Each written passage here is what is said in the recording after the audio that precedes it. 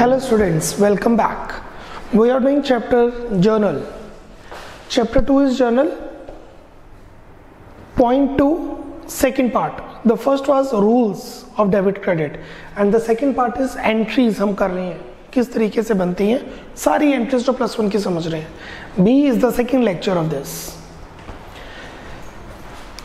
हम कर चुके हैं first entries related to stock purchase sale second entries related to debtors creditors creditors and debtors and third related to fixed assets now fourth related to capital and drawings related to capital and drawings कलम ने 14 entries की थी entry number 15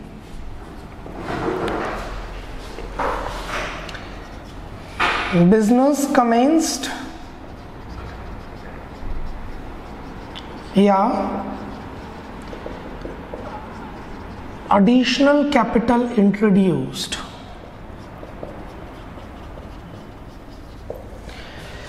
जब आप business commence कर रहे हैं, जब बिज़नेस शुरू कर रहे हैं तो कुछ पैसे आप बिज़नेस में इन्वेस्ट करेंगे। या छः महीने बाद, सात महीने बाद बिज़नेस को और पैसों की ज़रूरत होगी, आप घर के एसेट्स को बेच के बिज़नेस में पैसे लेके आएँगे। कोई भी रीजन हो, जब आप घर के पैसे बिज़नेस में लाएँगे, घर का स्टॉक बिज़नेस में लाएँगे, घर के फिक्स्ड एसेट्स बिज़नेस में लाएँगे तो एंट्री बनेगी ये। Cash account debit to capital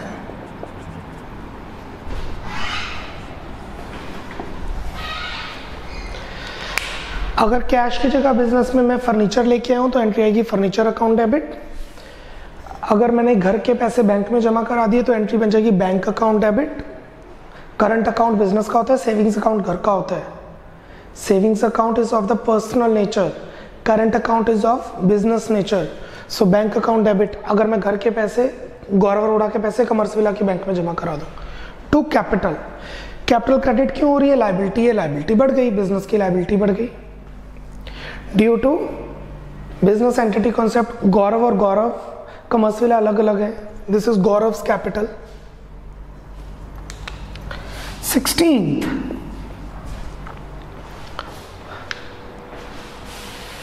अगर हम पैसे विड्रॉ करें, अगर बिज़नेस से पैसे निकालें cash withdrawn for personal use अगर आप पर्सनल यूज़ के लिए पैसे बिज़नेस से निकाल रहे हैं तो ड्रॉइंग्स अकाउंट डेबिट कैपिटल जब कम होती है तो उसके लिए ड्रॉइंग्स अकाउंट ओपन होता है। आई रिपीट जब कैपिटल कम होती है तो ड्रॉइंग्स अकाउंट ओपन होता है। एंट्री बनेगी। Drawings account debit to cash account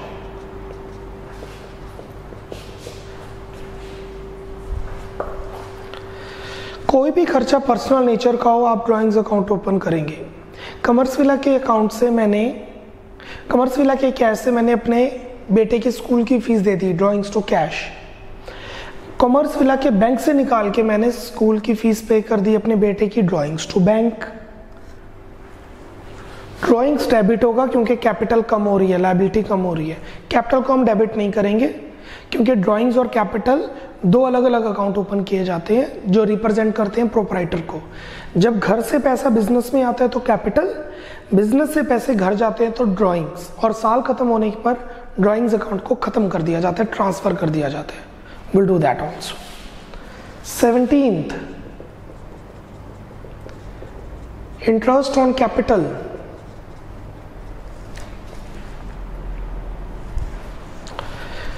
businessman को पैसे मिलेंगे, बिज़नेस पैसे देगा। बिज़नेस, बिजनेसमैन को पैसे देगा।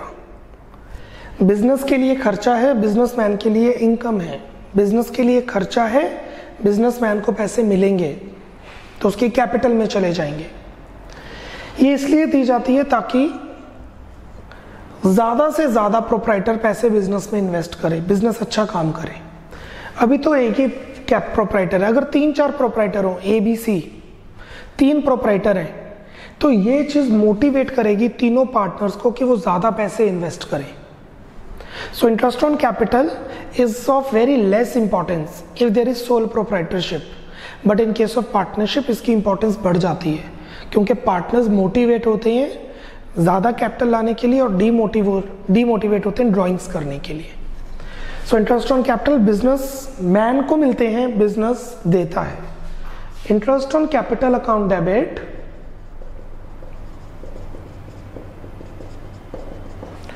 to capital account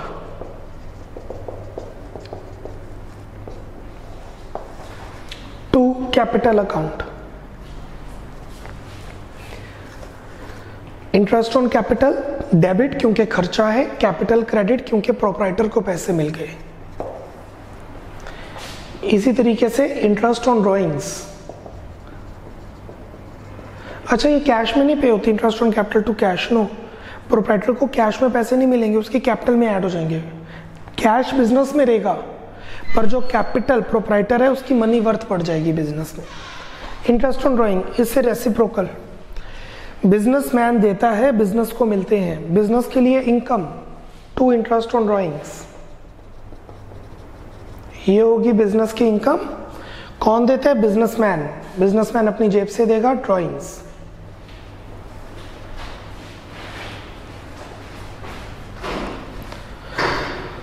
ये इसलिए चार्ज की जाती है ताकि प्रोपराइटर कम से कम विड्रॉ करे पैसे। अब अगर एक ही प्रोपराइटर है तो कोई फ़र्क नहीं पड़ता, जैसे मैंने कहा it is a very less importance but अगर एक से ज़्यादा प्रोपराइटर है दैट मीन्स पार्टनरशिप हो।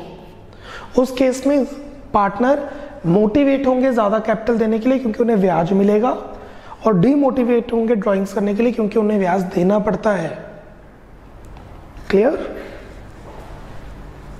interest on drawings credit क्यों हुआ? क्योंकि ये इनकम है। फर्म के व्यू पॉइंट से सोचते हैं बिज़नेस के व्यू पॉइंट से इंटरेस्ट रिकॉर्ड होती है। बिज़नेस के लिए इनकम है तो क्रेडिट कौन दे रहा है? Proprietor drawings note number one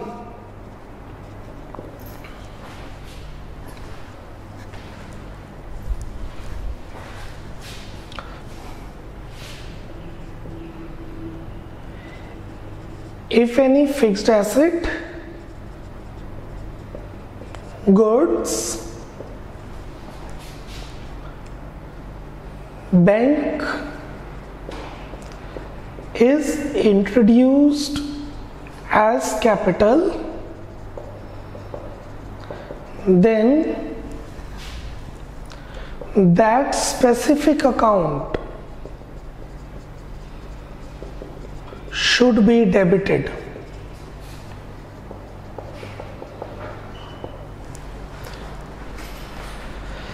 अगर लैंड आया तो लैंड टू कैपिटल बिल्डिंग आई तो बिल्डिंग टू कैपिटल बैंक में पैसे आए तो बैंक टू कैपिटल तीन चीज़ें आई।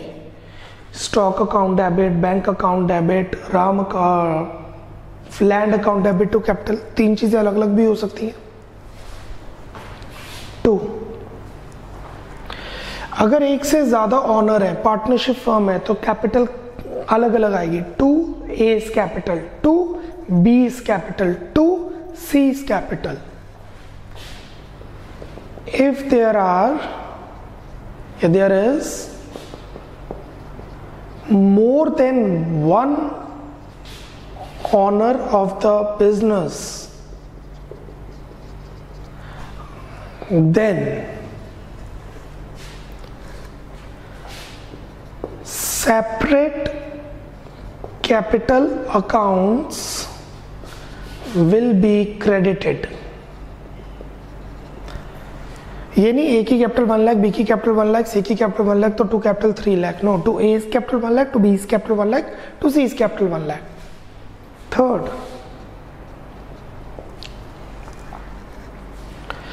कोई भी चीज़ बिज़नेस की पर्सनल यूज़ के लिए होगी तो ड्राइंग्स होगी। कौन सी चीज़ हुई है वो क्रेडिट होगी? Drawings to land drawings to building drawings to furniture drawings to stationery. Any amount or goods or fixed asset. Any amount goods or fixed asset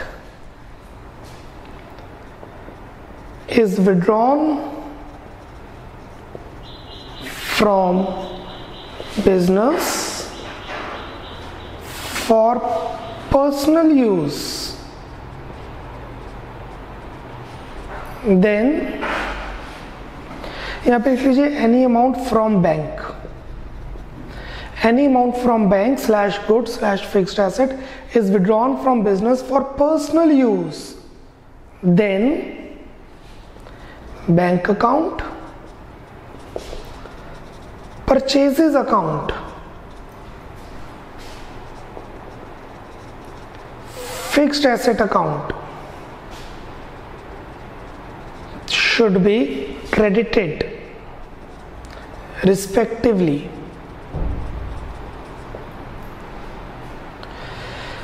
अगर पैसे बिज़नेस से निकाले तो ड्रॉइंग्स टू कैश बैंक से पैसे घर पे लेके गए तो ड्रॉइंग्स टू बैंक गुड्स ले गए तो drawings to purchases why purchases क्योंकि सेल तो हुई नहीं प्रॉफिट पे थोड़ा घर पे लेके जाएँगे।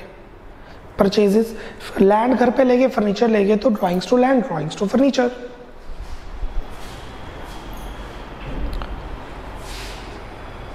fourth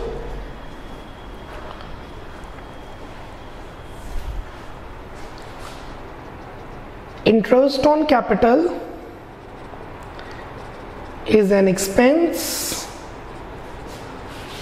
And interest on drawings is an income for the business and hence debited slash credited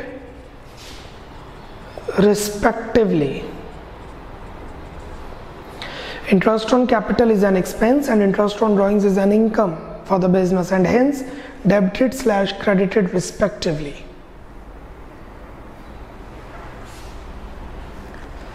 Clear everyone? Any doubt?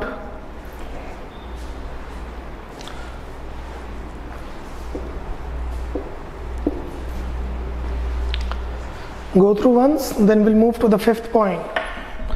Transactions related to bank. Number five.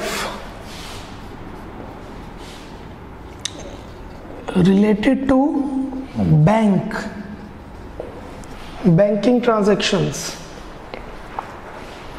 Number one,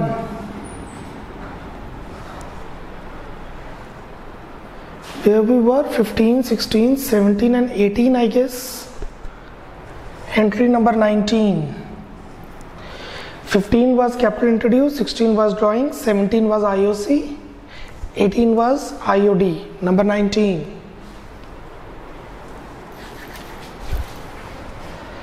अगर आप पैसे बैंक में जमा कराएँगे कैश डिपॉजिटेड इनटू बैंक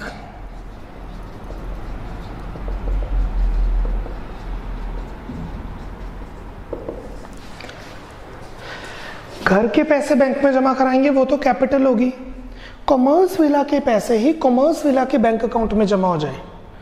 आई repeat Commerce villa के पैसे Commerce villa के ही अकाउंट में जमा हो जाए। तब cash deposited into bank entry would be cash account debited to bank account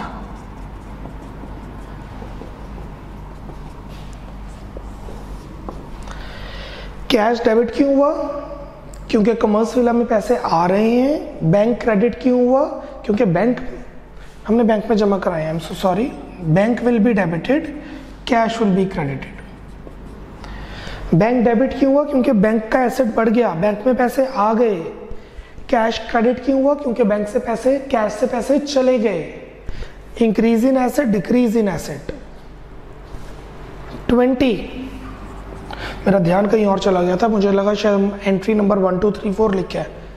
इससे पहले जब हमने entry one two three four लिखा so you may make it fifteen sixteen seventeen eighteen right तो I was just thinking that अच्छा bank से पैसे निकाल लिए। जैसे कि कमर्स विला का सारा कैश बैंक में पड़ा हुआ है। कमर्स विला का सारा कैश बैंक में पड़ा हुआ है। अब मेड को वेजेस देने हैं। वो कहती है, मेरे को बैंक में नहीं, मुझे कैश चाहिए। तो मैं एटीएम से 2000 निकाल लूँगा। कॉमर्स विला के पैसे कॉमर्स विला के ही पैसे में यूज़ हो रहे हैं। पैसे घर नहीं जा रहे, क्योंकि घर जाते तो ड्राइंग्स होती घर जाते तो ड्राइंग्स होती बैंक से विड्रॉ किए पर्सनल यूज़ के लिए ड्राइंग्स ऑफ़िस यूज़ के लिए विड्रॉ किए। Withdrew from bank for office use Commerce Villa में पैसे आ गए कैश अकाउंट डेबिट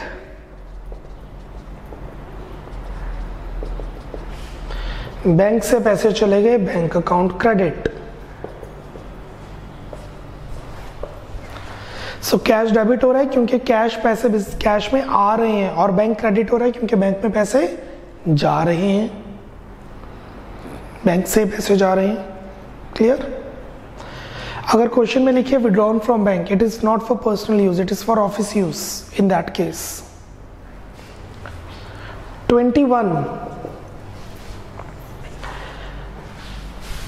आपने चेक आपने चेक लिया पर बैंक में जमा नहीं करवाया। मैंने राम से चेक लिया टेक एन एग्ज़ाम्पल मैंने जैस्मीन से चेक लिया, पर बैंक में जमा नहीं करवाया। कब जमा करवाएँगे चेक बाद में। तो we will open cheques in hand cheque received but not sent और deposited in bank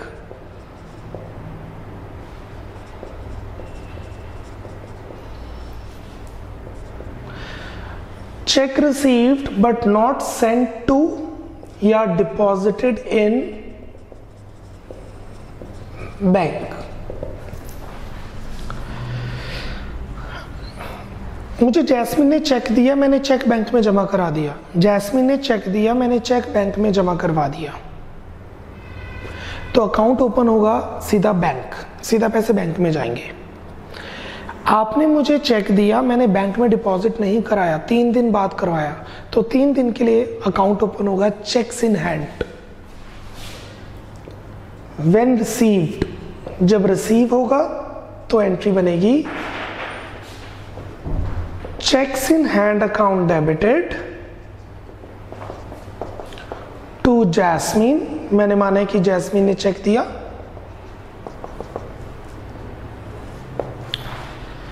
और जब चेक जमा करवाया जाएगा बैंक में, दो दिन बाद, तीन दिन बाद तो एंट्री बनेगी when deposited bank account debit to cheques in hand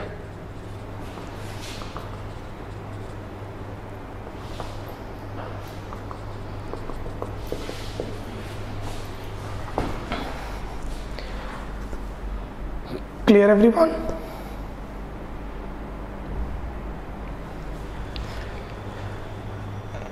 notes लिखेंगे। मैं तीनों एंट्रीज के नोट्स एक्सप्लेन कर रहा हूँ। अगर बैंक में घर के पैसे जमा करवाए हैं तो कैपिटल अकाउंट ओपन होगा। ये हम कॉमर्स विला के पैसे ही कॉमर्स विला में जमा करवा रहे हैं। If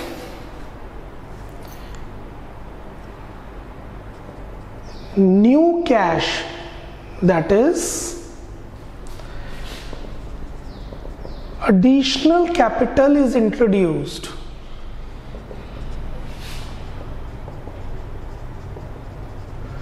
And deposited into bank.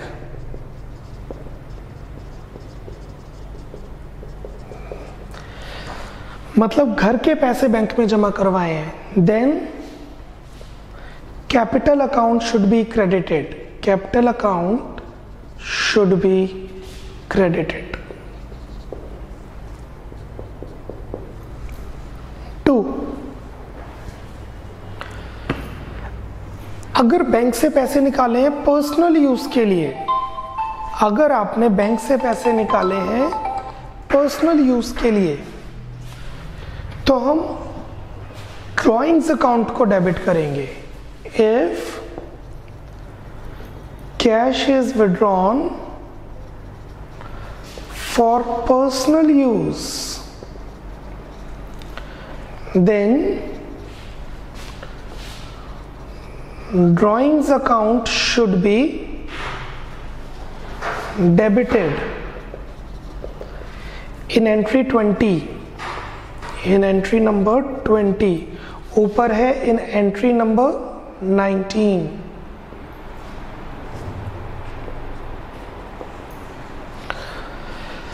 अगर क्वेश्चन में कुछ भी नहीं मेंशन कि पैसे बैंक से क्यों निकाले हैं पर्सनल यूज़ के लिए या ऑफ़िस यूज़ के लिए अगर क्वेश्चन में लिखा है कि बैंक से पैसे निकाले, बस। पर्सनल यूज़ के लिए है तो ड्राइंग्स, ऑफ़िस यूज़ के लिए है तो कैश। बट पता ही नहीं किसके लिए निकाले तो वो ऑफ़िस यूज़ के लिए है। If question is silent about the purpose of withdrawal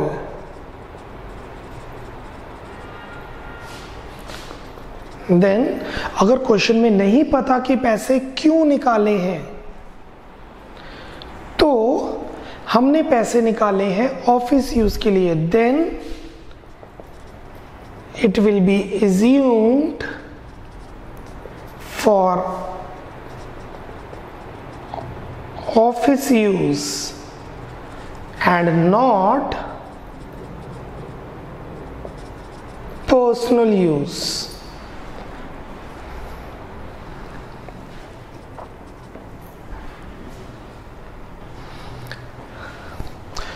Jasmine ने सुबह चेक दिया, मैंने शाम को बैंक में जमा करा दिया। तो cheque in account cheque in and account open नहीं होगा डेट सेम है। Bank to Jasmine. जैस्मिन ने मुझे सुबह चेक दिया, मैंने अगले दिन बैंक में जमा कराया तो ये अलग अलग एंट्री आएगी। जब डेट डिफर हो। If cheque receiving date and cheque depositing date. Differ. Then then only checks in hand account is opened checks in hand account is opened इसका मतलब है, अगर सेम डेट है तो अकाउंट ओपन नहीं होगा। अलग अलग डेट है तो ही अकाउंट ओपन होगा। Only that is the reason कि वो ओपन हो। क्लियर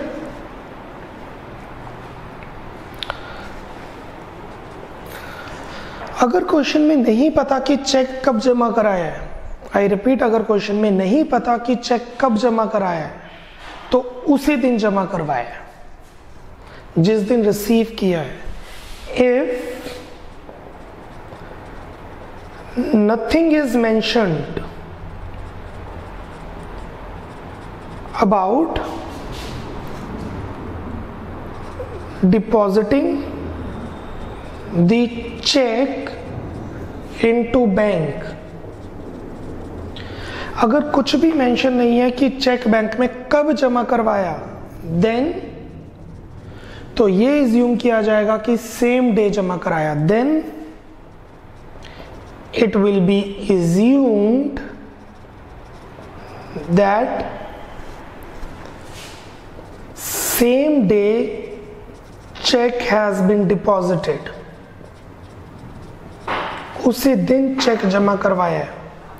क्योंकि उसी दिन चेक जमा करवाया इसलिए चेक से नेट अकाउंट ओपन नहीं होगा।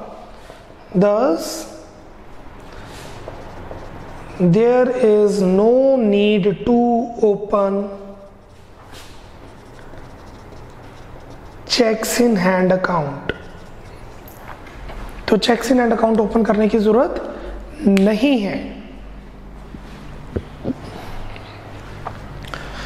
बैंक से बैंक में पैसे जमा कराए बैंक टू कैश बैंक से पैसे निकाले cash to bank cheque receive किया सेम दिन बैंक में जमा कराया bank to Jasmine cheque receive किया cheque in hand to Jasmine कभी और किसी और दिन जमा कराया bank to cheque in hand देखो चेक इन हैंड कट जाएगा ना तो एंट्री बन जाएगी bank to Jasmine but date अलग अलग है तो जनरल क्रोनोलॉजिकल ऑर्डर में आता है. That is why we have to explain this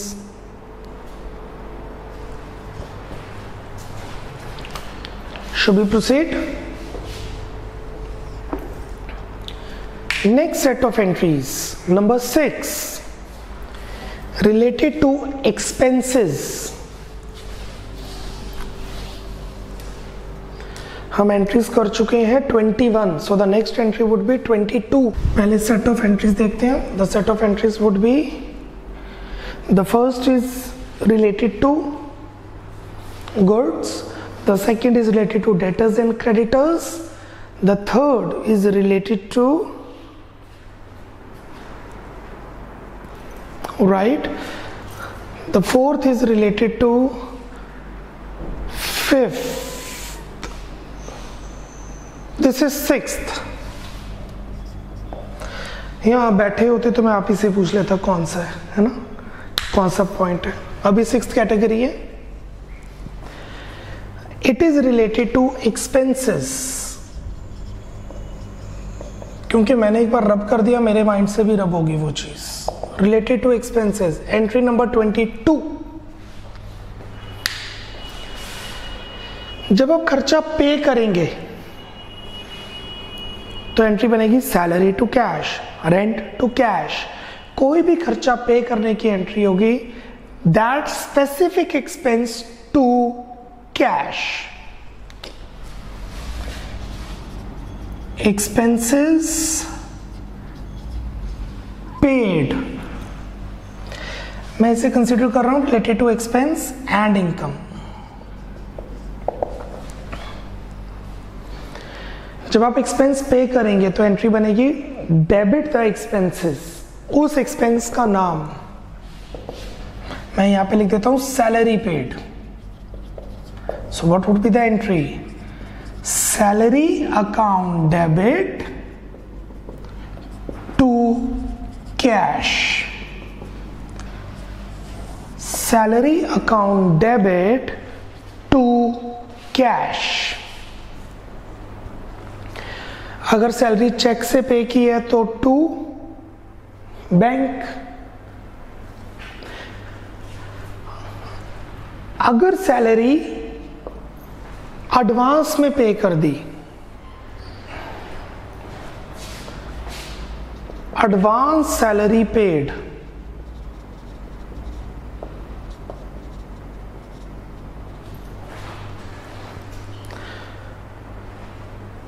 entry बनेगी। Advance salary account debit to cash.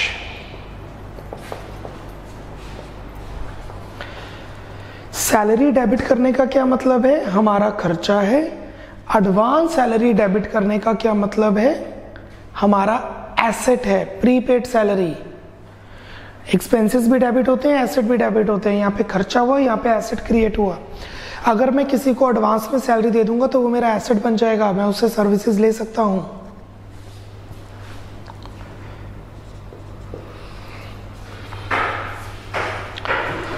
Salary due that is not paid salary pay करनी थी, पर पे नहीं की. According to accrual principle salary को तो डेबिट करेंगे ही करेंगे. Salary account debit to outstanding salary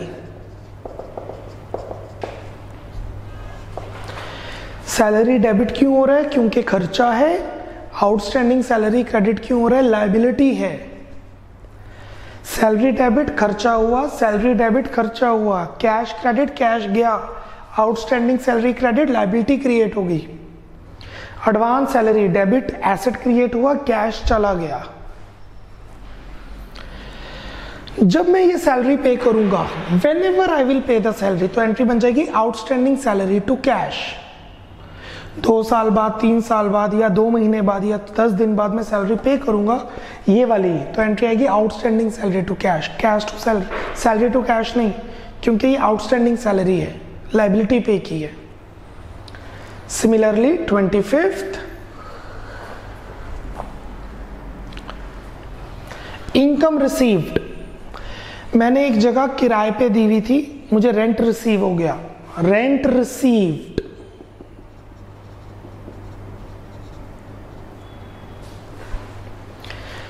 whenever I will receive the rent, the entry would be cash account debit to rent account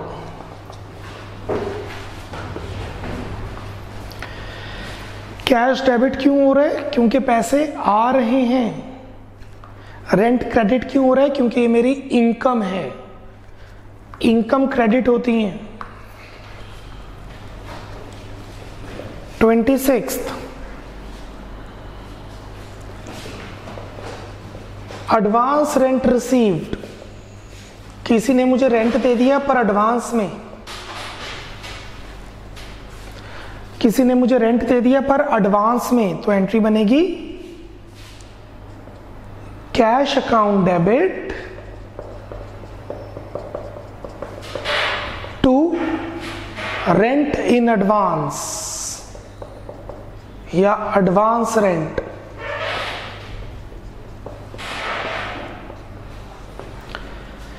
cash debit क्यों हुआ? क्योंकि कैश आ गया.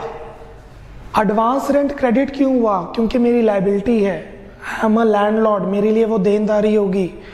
आपने मुझे पूरे साल की फ़ीस दे दी एडवांस में मेरे लिए लाइबिलिटी होगी. क्यों? क्योंकि मुझे आपको पूरे साल पढ़ाना ही पड़ेगा. I have to render the services for the full session twenty seventh rent due that is accrued, but not received. मुझे एक साल में एक लाख बीस हज़ार रेंट रिसीव करना था। मुझे एक साल में एक लाख बीस हज़ार रेंट रिसीव करना था। रिसीव किया एक लाख दस हज़ार।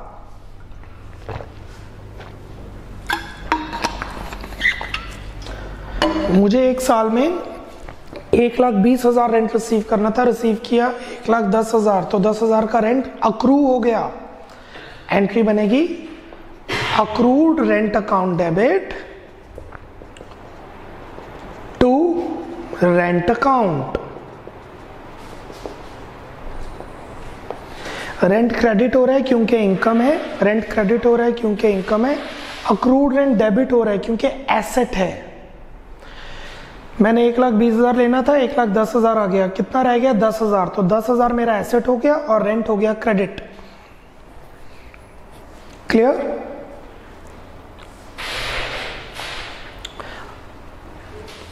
note number one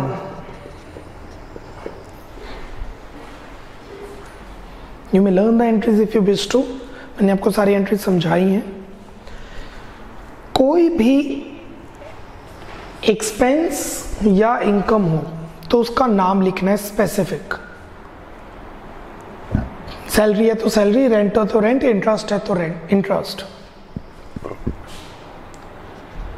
separate account is opened for different expenses and incomes that is rent account rent received account interest account salary account wages account etc हर खर्चे का अलग अकाउंट हर इनकम का अलग अकाउंट ओपन होगा note number to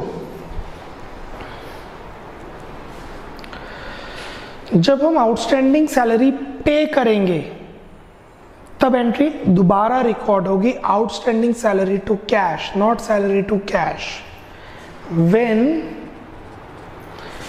outstanding expense is paid then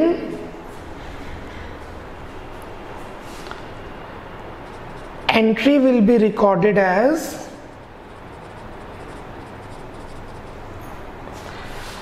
outstanding expense debit to cash account not salary account to cash outstanding salary to cash जब भी पे करेंगे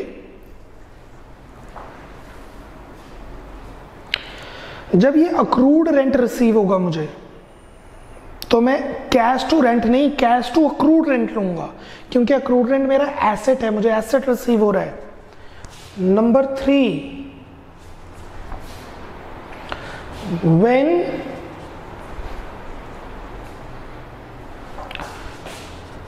accrued income is received, then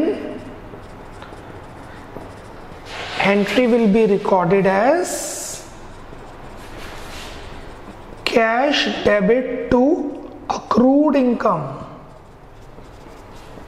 what is accrued income पैसे receive नहीं किए, कमा लिए। हमने बेसिस ऑफ़ अकाउंटिंग में ये सीखा था।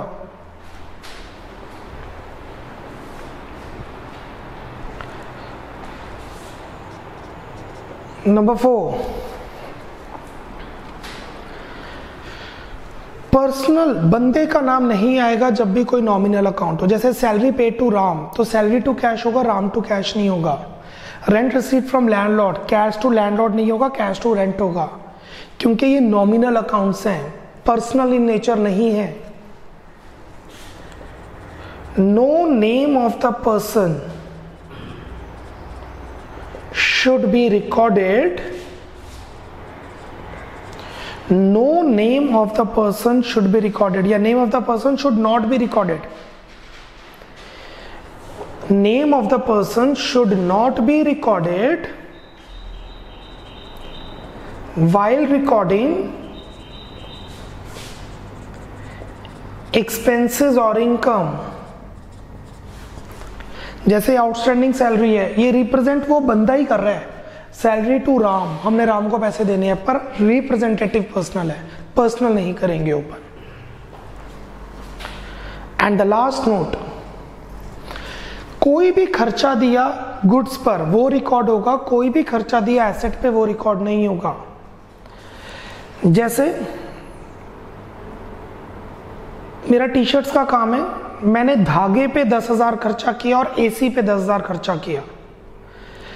या सौ रुपए लेते, पाँच सौ रुपए लेते हैं। पाँच सौ रुपए रिक्शे वाले को दिए धागा मंगाने के लिए, पाँच सौ रुपए रिक्शे वाले को दिए एसी मंगवाने के लिए। तो धागे वाला रिकॉर्ड करेंगे freight account debit to cash AC वाला नहीं, क्योंकि एसी वाला खर्चा एसी में ऐड हो जाएगा। एनी एक्सपेंस ये हम पहले भी बता चुके हैं any expense incurred for the acquisition of goods should be recorded as an expense. कोई भी खर्चा किया गुड्स को लेने के लिए गुड्स पर तो उसे खर्चा मानेंगे। But any expense incurred for the acquisition of fixed asset then it should not be separately recorded उसे सेपरेटली रिकॉर्ड नहीं करना धागे के लिए आएगा फ्रेट टू कैश एसी के लिए आएगा AC to cash freight to cash नहीं। हाँ अगर मेरा एसी का बिज़नेस है तो मेरे लिए एसी गुड्स हो जाएगा। फिर हम रिकॉर्ड करेंगे फ्रेट टू कैश अब मेरा इलेक्ट्रॉनिक्स का काम है, मैंने एसी खरीदा बेचने के लिए तो रिकॉर्ड करेंगे उसका खर्चा। बट एसी लगाने के लिए तो वो तो एसेट बन गया।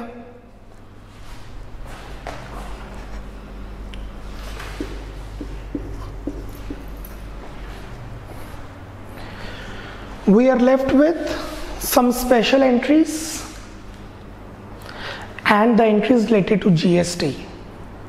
कुछ स्पेशल ट्रांजेक्शन हैं और एंट्रीज जो जीएसटी के साथ रिलेट करेंगी we have done 27 entries tomorrow we will complete the chapter journal but अभी कम से कम पाँच छह क्लासेस और लगाएँगे प्रैक्टिस के लिए, क्योंकि practice makes the man perfect जितनी प्रैक्टिस करेंगे, उतना ही बेटर है।